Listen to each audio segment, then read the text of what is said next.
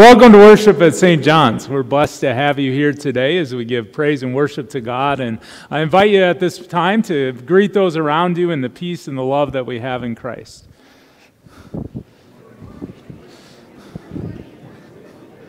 Get that.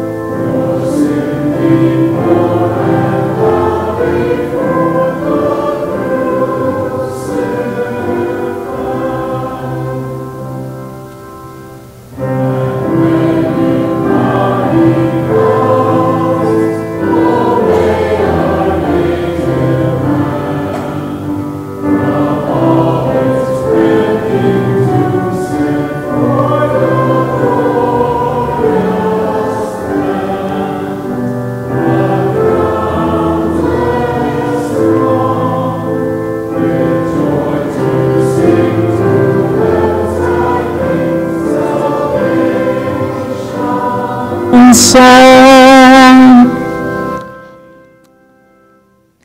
I invite you to rise as God has called his baptized children together for worship today. We remember the name he has placed upon us in the name of the Father, and of the Son, and of the Holy Spirit. Amen. If we say we have no sin, we deceive ourselves, and the truth is not in us. But if we confess our sins, God, who is faithful and just, will forgive our sins and cleanse us from all unrighteousness. Let us then confess our sins to God our Father. Most merciful God, we confess that we are by nature sinful and unclean. We have sinned against you in thought, word, and deed, by what we have done, and by what we have left undone. We have not loved you with our whole heart. We have not loved our neighbors as ourselves. We justly deserve your present and eternal punishment. For the sake of your Son, Jesus Christ, have mercy on us. Forgive us, renew us, and lead us, so that we may delight in your will and walk in your ways, to the glory of your holy name. Amen. Almighty God, in his mercy, has given his only Son to die for you, and for his sake forgives you all your sins. As a called and ordained servant of Christ and by his authority, I therefore forgive you all your sins in the name of the Father, and of the Son, and of the Holy Spirit. Amen. In peace, let us pray to the Lord.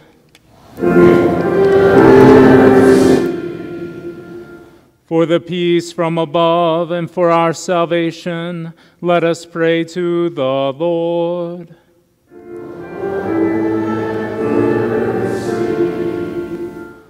For the peace of the whole world, for the well being of the Church of God, and for the unity of all, let us pray to the Lord. Lord, have mercy for this holy house, and for all who offer here their worship and praise, let us pray to the Lord.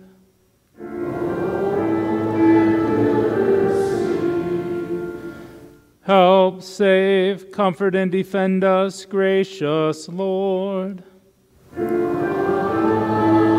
Amen.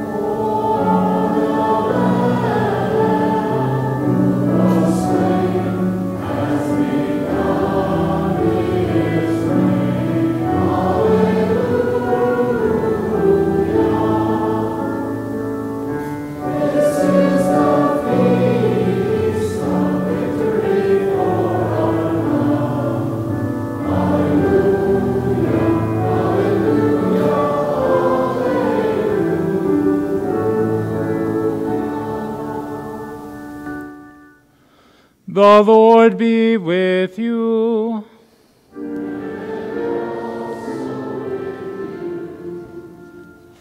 Let us pray. O God, your almighty power is made known chiefly in showing mercy. Grant us the fullness of your grace, that we may be called to repentance and made partakers of your heavenly treasures. Through your Son, Jesus Christ our Lord, who lives and reigns with you in the Holy Spirit, one God, now and forever. Amen. You may be seated as we have our readings from Holy Scripture. Our Old Testament reading for this Sunday is from Ezekiel chapter 2. He said to me, Son of man, stand on your feet, and I will speak with you. And as he spoke to me, the Spirit entered into me and set me on my feet. And I heard him speaking to me. And he said to me, Son of man, I send you to the people of Israel to nations of rebels who have rebelled against me. They and their fathers have transgressed against me in this, to this very day. The descendants also are impudent and stubborn. I send you to them, and you shall say to them, Thus says the Lord God. And, when, and whether they hear or refuse to hear, for they are a rebellious house, they will know that a prophet has been among them. This is the word of the Lord. Thanks be to God. Our epistle lesson is from 2 Corinthians, the 12th chapter.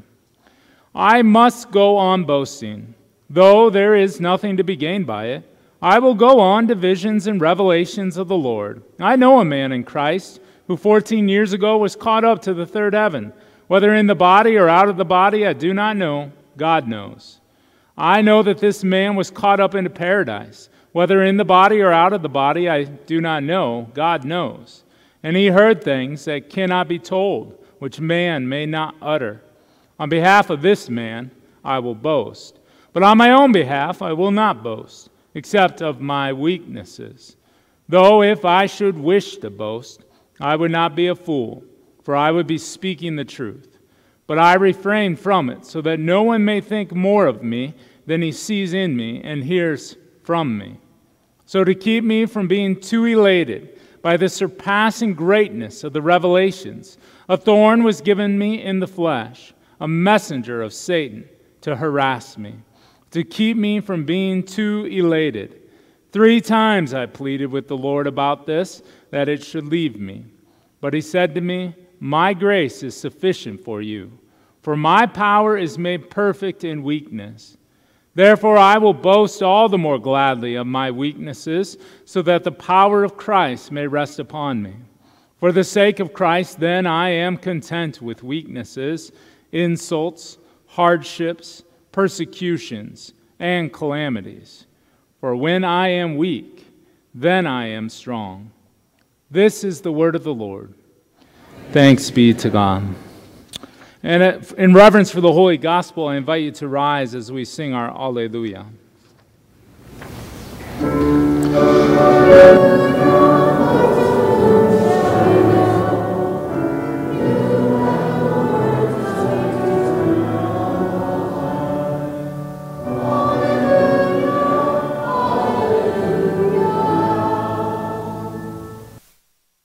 The Holy Gospel according to St. Mark, the sixth chapter. Glory to you, O Lord. Jesus went away from there and came to his hometown, and his disciples followed him. And on the Sabbath he began to teach in the synagogue, and many who heard him were astonished, saying, Where did this man get these things? What is the wisdom given to him? How are such mighty works done by his hands? Is not this the carpenter, the son of Mary? and brother of James and Joseph and Judas and Simon? And are not his sisters here with us? And they took offense at him.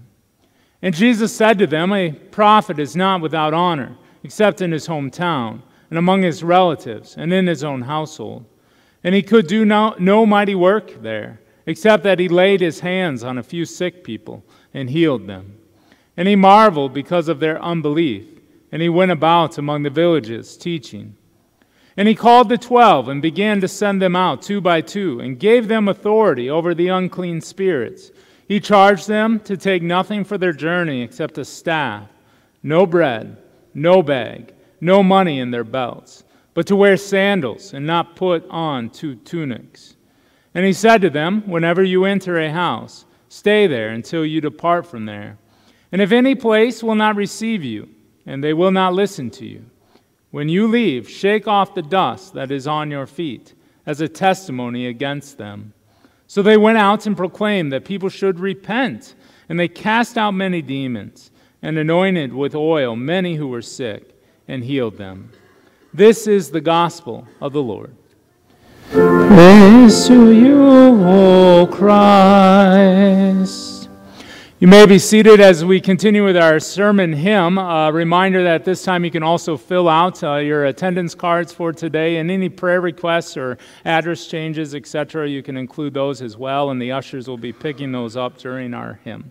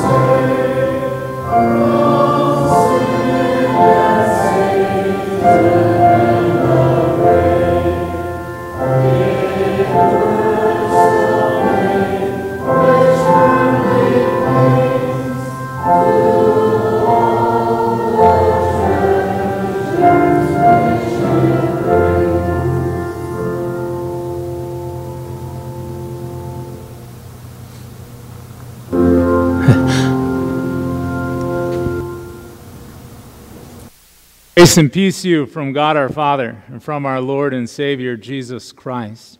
Our epistle lesson for today is from Second Corinthians, and while I was on vacation, uh, uh, that was kind of the, the book of Second Corinthians was what I decided just to keep reading through uh, uh several times. And uh, one of the things that I've noticed over my uh, I don't know, life, I should say, I guess. Uh, several times I've taught Bible studies on 1 Corinthians, and it's uh, very rich and deep, and lots of, uh, uh, I don't know, Bible studies just seem to go really good teaching 1 Corinthians. And then uh, a lot of times you say, well, okay, let's go on to 2 Corinthians, and oh man, it just doesn't quite translated in a Bible study. I almost shouldn't even say it that way, but uh, when you read through Second Corinthians, at times you almost think, man, Paul's just kind of rambling. Uh, he's just kind of uh, free flowing consciousness, which I guess maybe I'm starting to appreciate more and more because that's probably how I talk a lot of times. Uh, but yeah, he's going through and he's sharing uh, kind of this interaction that he's having with the church in Corinth, and he's had a lot of strife with them because they have uh, gotten themselves stuck into patterns of sin and they've had false doctrine that he needs to correct. And then uh, there are these opponents that he's battling against. And so, even in our epistle lesson today, um, uh, they leave off, uh, I don't know, it's always weird sometimes how they cut the, uh, the text that we have. But I want to share with you verse 11, the, the verse right after the epistle before we go into it. Uh, and he says, I have been a fool. But you forced me to it. I mean, this is where he's just kind of like, this isn't polished, right? You forced me to be a fool, right? Uh, you ought to, I ought to have been commended by you. You ought to have held me up in esteem. For I was not in, at all inferior to these super apostles, even though I am nothing. And so Paul is kind of wrestling with this uh, interaction. He needs to kind of uh, uh, fight a battle. He needs to fight a battle against these other people who are putting down the ministry that he is doing. And so he has to elevate himself, show himself as being superior in his ministry to those people. But he's like, I don't really like doing this uh, because that's not what the gospel is about. It's not about elevating myself, but in a sense, that's what he has to do. He has to uh, share how he is superior and how they are inferior. Because ultimately, what makes him superior is the very fact that he proclaims he's nothing. And this is kind of this interaction that's going on in this text. He's like, I'm nothing, but then yet I have to assert that I'm something. But the, what makes his ministry something is that he's nothing that is focused ultimately on Christ and what Christ has done. And so, what makes them, you kind of put in the air quotes, right? What makes them super apostles, right, is they think they're super. And you maybe have operated that way in your life where you kind of just, it's all about you right? And you're just nailing it. You're doing great, right? And this is what they're doing. Uh, they're kind of saying, well, Paul, he's not very good, but I'm awesome, right? And it's just virtue signaling everywhere, right? And we know this in our culture. Everyone's doing it. Everyone's out there just saying how great they are compared to so and so. Now, they, oh, wow, if they had. If, if they had lived 200 years ago, they would have never done what those people did, right? I mean, and this is how we tend to operate. We're, we're doing great. We're nailing it. Paul says, no, that's actually what makes them inferior. So there's this battle Paul and the super apostles. Question is, who will win? Uh, on my vacation over the last uh, 12 days, uh, it, this was the majority of it. Caleb saying, Who will win? A queen bee or a queen wasp? Right? Who will win? Uh, Batman, or I, I, mean, I, just, it was constant, right? I mean, I don't, I mean, a lot of them were repeating. Who would win, right? I mean, who's going to win, right? And I, I, don't know, that's a normal human uh, interaction, right? And usually, it, it, you know, I'd say something like, who would win, a porcupine or a hedgehog? I said, well, porcupine. He's like, no, because hedgehogs have more spikes. I don't even know if that's true, right? Um, you know, who would win? And usually we have some sort of earthly determination about who's doing a better job of something. Who would win? Well, Paul says, let's fight this battle. He says, I must go on boasting, though there's nothing to be gained by it.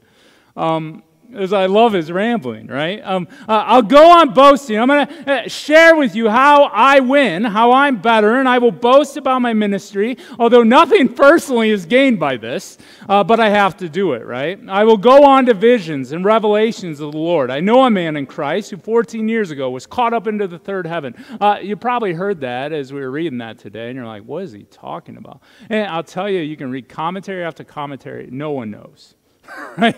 No one knows exactly what he's saying, right? Um, and, and, I think that's kind of the point, right? He even says whether I was out of the body or in the body, I don't even know, right? Um, uh, uh but God knows, right? And so he says, I, I, I was shown things. And I, I, was told things that I can't even share with you. Uh, I, and so he's asserting, uh, I have every reason to be superior from what God has given me but nothing's really gained by all this. He says, On behalf of this man, I will boast, but uh, that's something that God is doing. God brought me into this place. God reveals things. It's nothing that's inside of me. He says, But on, behalf, on my own behalf, I can't boast except of my weaknesses. Though if I should wish to boast, I would be, not be a fool, for I would be speaking the truth. But I refrain from it, so that no one may think more of me than he sees in me or hears from me. Uh, and so Paul's trying to kind of walk a tightrope, right? I mean, he's trying to say, uh, I'm superior to these super apostles. Why? Because they're elevating themselves. And here's the reality God has elevated me to this position of apostleship. But at the same time, he says, It's not me. It's not me. I am weak. I am nothing. I'm no more than what you just see in front of me, in front of you. I'm just a man. And I'm just speaking Christ. He goes on in 1 Corinthians, he's talking about, I didn't come with eloquent words or wisdom. I'm, I'm kind of a rambler, right? He says, I'm no more than what you see and what you hear. says, even going through all this, I've, well, I missed a page here, right? All right, there we go. So, to keep me from being too elated by the surpassing greatness of the revelations, a thorn was given me in the flesh, a messenger of Satan to harass me. Now, what was this? You read a million commentaries, no one knows, right? Uh, uh, some of the best guesses might just have been related to Paul's eyesight. Uh, he, uh, he, became fairly blind. It's something, something that has happened to him so that when he encounters the ministry that God has him do, he is not up to the task. Uh, personally, in himself, he's not up to the task. He's not able to accomplish what God is charging him to do. Right? And in order that he would not become uh, like the super apostles who thinks he's nailing it and doing everything right, in order that he would not be like that, but instead looking to Christ, he says, this ailment, whatever it might be, was given to him. And he pleads with God, right, to take that away. Is it his eyesight? Is it something physically? Is it? Uh, we don't know, right? But uh, something was given to him by God as a blessing to make him weak and unable to do things on his own power. And he says, This isn't, is it, yes, it's a work of Satan amongst his sinful flesh, but this is actually God's doing for his blessing to keep him humble. Uh, this last weekend, when uh, I don't know what Pastor Steve preached on, uh, you know, but uh, when I was in Sheboygan uh, at Trinity Lutheran Church, the pastor was preaching on Jesus uh, doing the miracle of healing. Um, oh, now I'm not forgetting who it was. It was the daughter of the, I think it was Jairus' daughter, but um, he was healing her and kind of getting into the reality, you know, why doesn't he do that all the time? Right? Or uh, why did he have to wait? Or why didn't Jesus come? And, and we deal with these things because we face weaknesses. Why do, why do I get something and, and someone else doesn't? And all those things. And the title of the sermon is just simply What God Ordains is Always Good. Whatever God is doing is ultimately good for his glory. We don't understand why he does what he does. Why did Paul get this thorn and uh, all those things? But uh, Paul shares with us that ultimately God does everything he does for our good, for our blessing. So God allowed him to be weakened so that he would rest on the power of Christ. And so what God says to him is, My grace is sufficient for you. I mean, this is so different than the world in which we live, the culture in which we live, both in his day and our day, right? I mean, we elevate, wow, I, you know, I, I win that basketball game because I'm more athletic than you. Or we call it an upset, right? Because, wow, that team should have beat them. They're more athletic, right? Or, uh, or, or we, I'm smarter than you. Or uh, we just, that's how we operate. We operate on elevation, winning by being superior. And God says to Paul, no, actually, to be superior is to be inferior, to be weak. Because my grace wins. my grace is sufficient for you. The covering that I give you in Christ Jesus, the power that comes from Him, is perfect in you, Paul, being weak you being unable to fulfill the ministry that you need to accomplish, you being no better than anyone else, only being what you people see with their eyes and hear with their ears. It's all you are. But Paul, my grace in Christ is sufficient. The power of Christ is powerful. Who will win? Well, Christ wins. So Paul says, therefore, right? He makes a resolve. Um, he's saying, uh, because of this reality, um, I am making a determination that I will boast not in even that revelation I had, right? I'm not, I'm not even going to boast in all these ways in which God has elevated me over these other apostles. No, what I boast about is that I am weak.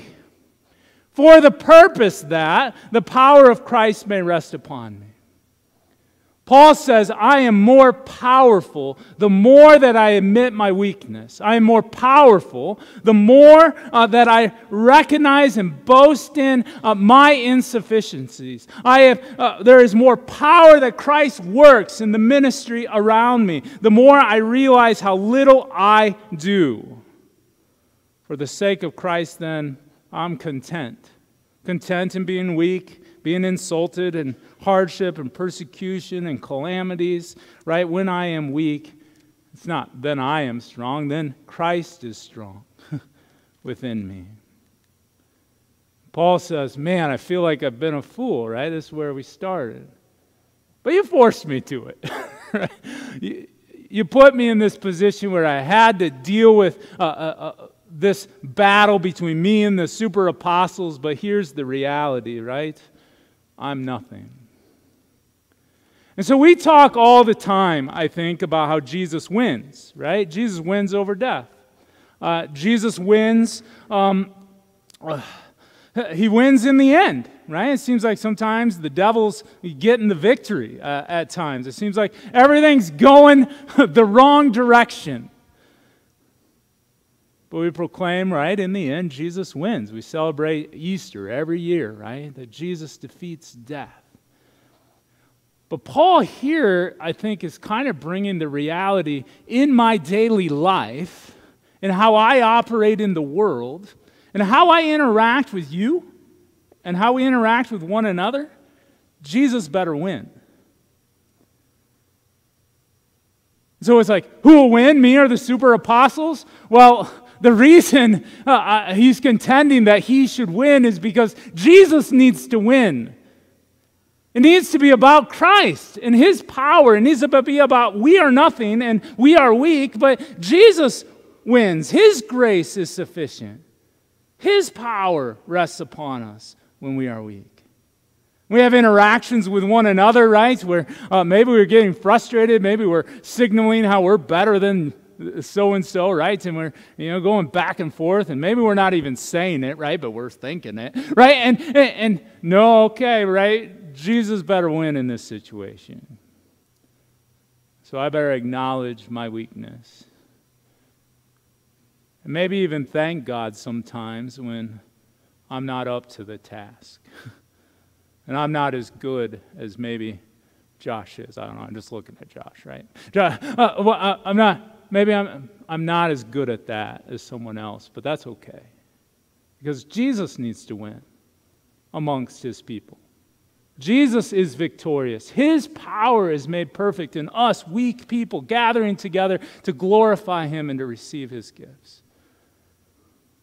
Some ways, Paul's kind of rambling a little bit, but I think he nails the reality as he's wrestling with this church in Corinth.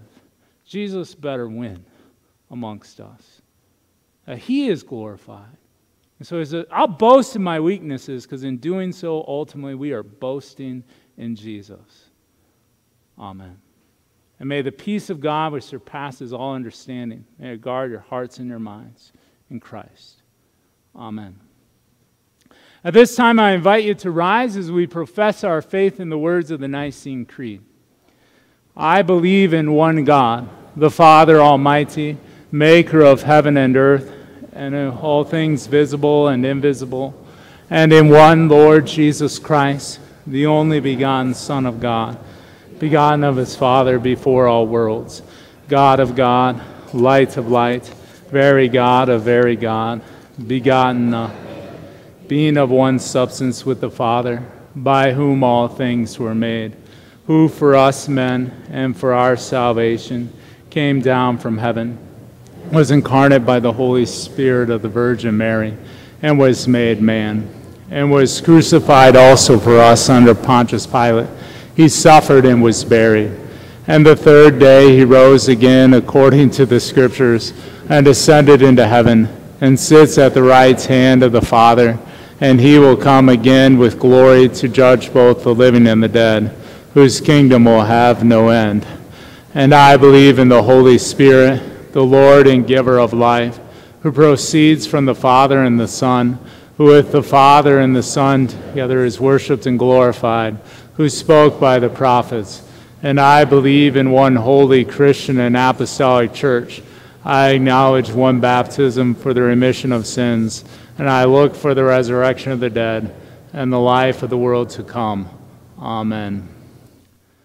Oh man, who would win between me and PowerPoint? Uh, I guess PowerPoint, but uh, we rejoice in my weakness. All right. So uh, we continue in thanking you for your offerings, and we sing our offertory and let the vineyards be fruitful. Let the vineyards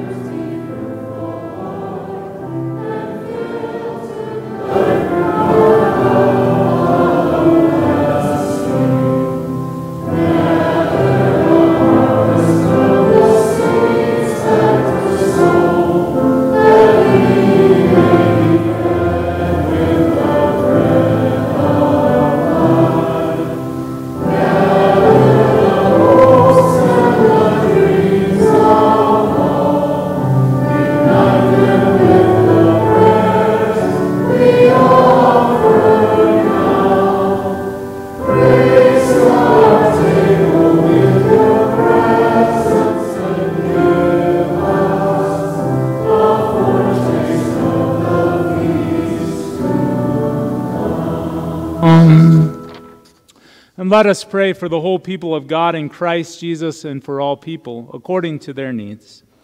Heavenly Father, your Son endured rejection in this world.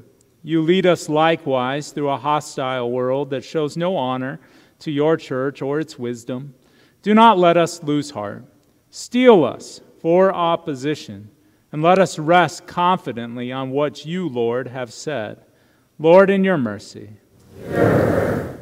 And holy God, you, your great and mighty work is to create faith by your Holy Spirit in the eternal blessings of your Son, Jesus Christ. We implore you to make your preachers effective, to proclaim your prophetic word, and to remove all stubborn ears from our midst. Do not leave us without your word, but make your home among us and restore the joy of your salvation. Lord, in your mercy. O Lord, soften the hearts of every home. Turn parents and children toward each other in love and patience. Banish the spirit of impudence and stubbornness and rebellion from all. Sanctify us in your truth. Your word is truth. Lord, in your mercy. Almighty God, protect and defend our nation from its enemies. We ask that you support our leaders, our President Joseph Biden, our Governor Kristi Noem, and all other elective leaders. We ask that you preserve them from temptation. Through the work of all the civil authorities, Father, enable us to live a quiet and peaceable life in accordance with your word. Lord, in your mercy. And gracious Father, in our weakness, we are strong for the sake of Christ, whose grace is sufficient for all of our needs. Give comfort to those whose pain is chronic, whose sustained suffering is unknown, who wrestle with difficult thorns in the body or mind, and who are tempted to despair.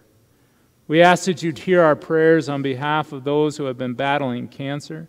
Be with Tracy and Tara, Glenn and Jean, Beverly and Lindy, Georgette, Marlis, Bob and Emily, Stacy, Brian, Laura, Vonda, David, Lord, we ask that you be with others uh, battling different illnesses with Kellen and Harvard, Dee and Colette, Tiffany, Jim, Chris, Steve, Andrew, Diana, Clint, Dawn, Lois, Nathan, Pastor Jim, David, Stan, Angela, Trish, Sandy, Alvin, with Rob and Rhonda, and uh, be with Lester Gross and his uh, difficulties, Lord. We ask that you be with Becky Clyde and uh, her family mourning the loss of her brother Wayne. Uh, be with Rhonda Novak as uh, they mourn the loss of her brother Glenn.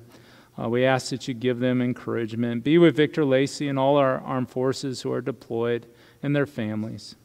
And Father, we ask that you bless um, uh, our region, but uh, many places that are in, experiencing severe droughts, Lord. We pray that you would grant them uh, rain and the, the blessing of that gift. In the midst of uh, our struggle, Lord, uh, we pray that uh, we would find refreshment in your word and the support that comes from the power that your Son places upon us. And Lord, we ask that in the midst of all weakness, insults, hardships, persecutions, and calamities, that you would help us to boast in your Son and his cross, by which we and our sufferings are sanctified. Lord, in your mercy. And Father, out of your abundant blessing, you satisfy us with Christ, the bread of life. Give repentance and faith to all who commune this day, that finding refuge in your Son's true body and blood, we may taste and see that you are good. Lord, in your mercy. All these things and whatever else you know that we need, grant us, Father, for the sake of him who died and rose again, and now lives and reigns with you in the Holy Spirit, one God, now and forever. Amen. And we continue with our service of the sacrament. The Lord be with you. With Lift up your hearts.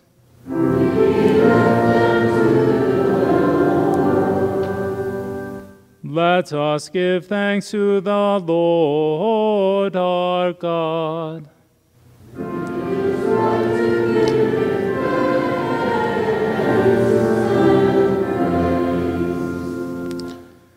It is truly good, right, and salutary that we should at all times and in all places give thanks to you, Holy Lord, Almighty Father, everlasting God, through Jesus Christ our Lord, who out of love for his fallen creation humbled himself by taking on the form of a servant, becoming obedient unto death, even death upon a cross. Risen from the dead, he has freed us from eternal death and given us life everlasting. Therefore, with angels and archangels, and with all the company of heaven, we laud and magnify your glorious name, evermore praising you and saying, Holy, holy, holy Lord, God of power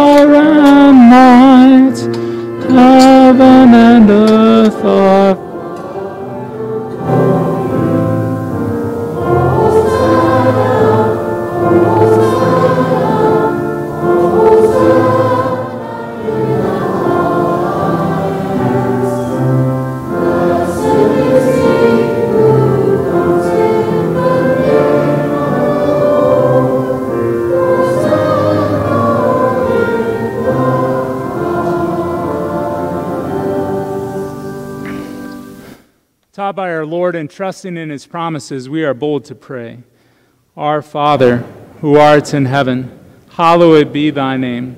Thy kingdom come, thy will be done, on earth as it is in heaven. Give us this day our daily bread, and forgive us our trespasses, as we forgive those who trespass against us. And lead us not into temptation, but deliver us from evil. For thine is the kingdom and the power forever and ever. Amen. Our Lord Jesus Christ, on the night in which he was betrayed, took bread, and when he had given thanks, he broke it and gave it to his disciples, saying, Take and eat, this is my body, given for you, this do in remembrance of me. In the same way, also, he took the cup after supper. And when he had given thanks, he gave it to them, saying, Drink of it, all of you. This is the New Testament in my blood shed for you for the forgiveness of sins. This do as often as you drink it in remembrance of me. And the peace of the Lord be with you always.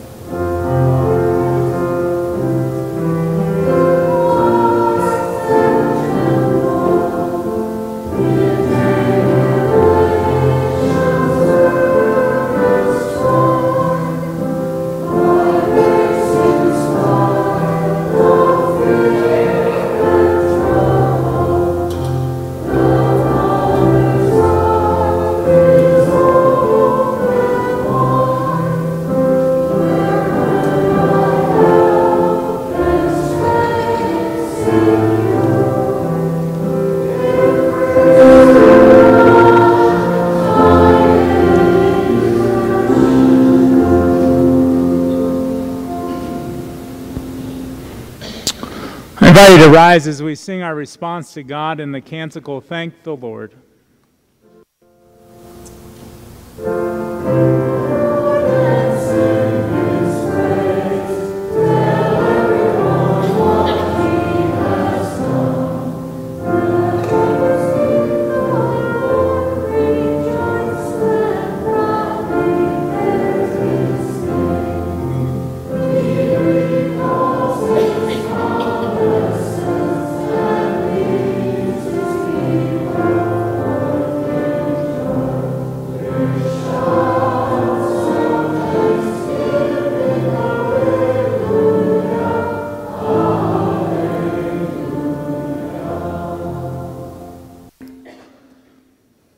Let us pray.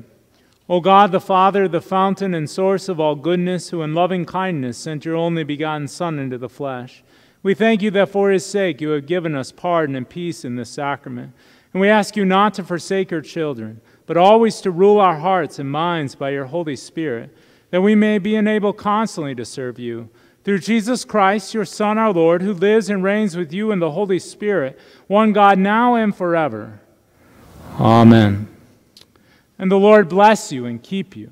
The Lord make his face shine upon you and be gracious to you. The Lord look upon you with favor and give you peace.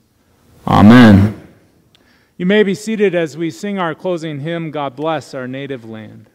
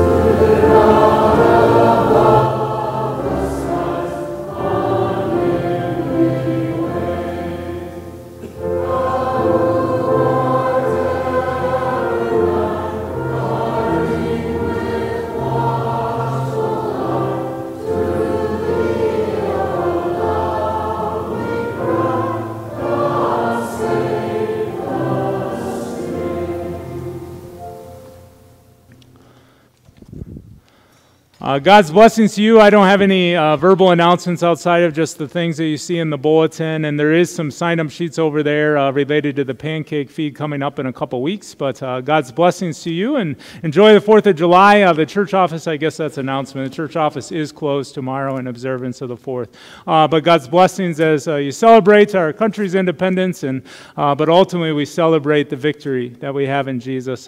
both. Oh, you got announcements. Up on you.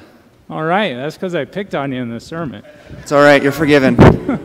uh, good morning, everyone. Happy 4th of July. Uh, something new that we're doing later this month is we're having church family bingo night. I think that's July 31st, the last Friday of the month. So just be aware of that. That'll be from 6 to 8. We just ask that you please bring a snack to share share with everyone who attends. So again, July 31st, family bingo night, church family bingo night here at the church. Thanks, everyone.